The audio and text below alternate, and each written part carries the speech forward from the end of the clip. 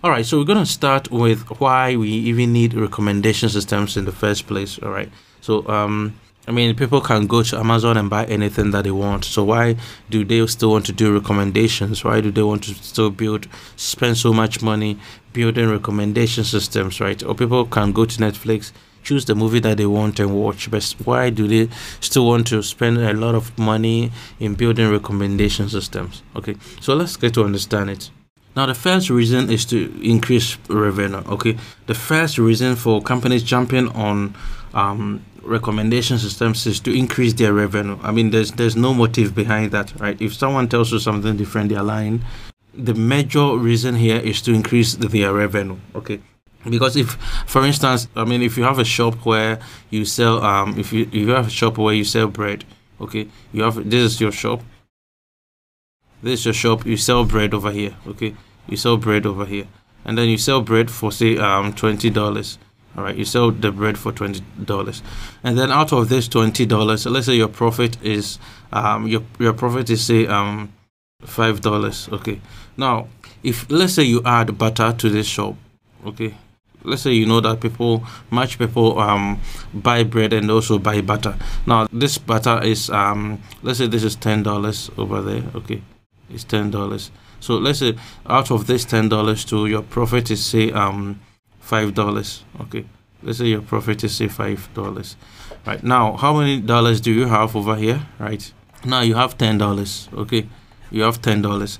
But earlier on, your your profit was just five dollars, right? Without the butter, without the butter, your profit was just um, five dollars, right? Now it's likely that in your shop, most people buy bread. Okay, most people buy bread. However, you have also seen couple of people who buy bread plus okay, who buy bread plus butter. Okay, they buy bread plus butter. Now, once you have discovered that in your shop, you can put them um, side by side. Okay, so if you put bread over there, right, you want to put butter um, right behind that. Okay, you want to put butter right behind that. So once they buy bread, right, their eyes also go to the butter okay the eyes also goes goes to the butter. It's, and it's likely that they are going to buy both of them. Okay it's likely that they are going to buy both of them instead of buying one of them right? And that happens when your shop is very small right? When your shop is very small but if you have a big shop where you have about millions of, I mean, uh, products over there, it's difficult to actually fish out which items are my customers buying, and in addition to other items, right? What what, com what combination of items do my customers buy the most? It's going to be very very difficult for you to figure those things out if you have a very big shop. Okay, if you have a very big shop. I'm talking about digital shop in this regard.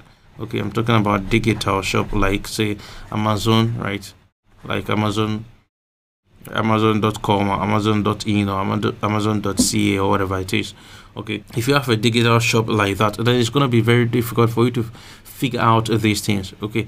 That's why you need some sort of an automated system that will do these things for you right? It it will automate the process and then uh, automatically match these kind of things right? To just be behind your platform seeing what people are buying and then continuously matching them okay so if customer a right if customer a comes and then buy bread and buy butter then if customer b comes right this automated system will now recommend these two to this customer that okay customer a bought these combinations. It's likely you will like it. And this one can buy both of them okay? Now in doing so your profit is continuously going to increase okay your profit is going to continuously increase. Now it seems like they are helping the customers but ideally they are increasing their profit. Okay that's the number one thing that they are trying to do to increase their revenue. Okay and of course um, they need to satisfy the customer before their revenue can increase. So as i gave example here right they are helping this customer to find the best product for the, for himself or herself right? That is adding bread adding butter to the bread that he wants to buy okay but ideally they are doing that so that the customer will buy more items and by buying more items they get to increase their profit. Okay so the customer gets um, satisfaction right and then they get their revenue increase. Okay the next one is personalization personalization. Okay so for instance um customer a right customer a here might have preferences different from customer b here. Okay so if let's say this customer b comes and then instead of buying bread and butter this customer b buys bread and jam okay? Bread and jam okay? So now if um, this customer b comes back again to the that is in day one okay? In day one that's what customer b did right? So if this customer b comes again to the platform and buys bread automatically this one will recommend jam instead of recommending butter okay? That is personalization. But if customer a comes sorry this system will recommend um, butter instead of um, i mean jam okay? If this customer a comes to buy bread again um, the system will recommend butter instead of jam instead of jam okay? So that is personalization right? Looking at the individual preferences and recommending things that they um, personally like okay now the next one is um, discovery, right? Discovery, um, as I said, if your shop is very big, it's actually going to be difficult for you, the shop owner, to match things like that, and also for the people to discover the things that you you have over there, right? If you have experience, I mean I'm sure if you, if you have been doing online um, shopping, you realize that sometimes it becomes very, very difficult, right? If you're looking for that particular shoe, okay, if you're looking for some shoe that will fit you well or some kind of a dress, right, you can spend a whole lot of time um, going through Amazon or going through eBay or any other platform, right, trying to find the best um, dress or the best shoe or suit or something for you. Right, it's very difficult. You can spend a day or two just i mean going through these things right? Now with the recommendations right with the recommendation systems they can make these things easier for you right? By just helping you discover things that the platform is having right? So if for instance you want shoes and you type in the keyword shoes right? They're gonna come up with the best shoes that most people are buying on the platform for you right? And even give you some suggestions right? And say that okay you may also like these things right? You may you see mostly you see these things this statement over there.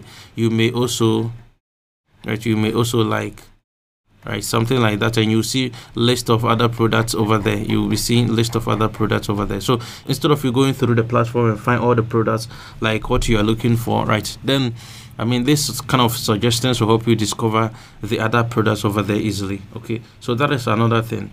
The last one over here is report and analytics all right? So now if the customer if the platform owner right the shop owner or the platform owner wants to know what is going on the platform, right? it's the activities that the um, the customers are performing, right? That on the platform that is that will give the company insight and then for them to know what to do right for instance if most people buy bread and butter they know that we in our shop we are supposed to put more bread and butter over there that's kind of an insight or analytics that they're having okay if most people are buying some kind of a product you need to know how to keep your inventory of that product so that, so that you not run short of that product that is giving you more profit okay? Which where where is our most profits coming from? You need to know that so that that product will be um, your top notch product on your platform okay? And how to even place these items on your platform are all going to come from the report and analytics that you're going to get from um, these kind of recommendations that is on the platform all right, so these are some of the reasons why we need um, recommendation systems in our in our in our system, right? In our platforms and in our companies. Okay. All right. So I hope um, now you have an understanding of why we need uh, recommendation systems and why so many companies are jumping on recommendation systems. So you will not see um, recommendation systems on, I mean, say Netflix, and you think they are trying to make your work um, easier. Of course, they are making your work easier, but the ultimate goal is to increase their profit. Okay, for you to spend much time on Netflix watching a lot of movies, so that next time, I mean, next month you keep you keep on watching, right? Especially for those who like um, series movies, right? They try as much as possible to recommend you the best series because they know once you watch one series movies, it's gonna take you about two three months, and each month you're going to subscribe, right, and increase their profit over there all right for them although you're watching your movie having your own satisfaction in your own way but you're increasing their profit okay? So that is how it works. And in the same way on amazon they have a lot of recommendation systems they want to use to increase their profit over there right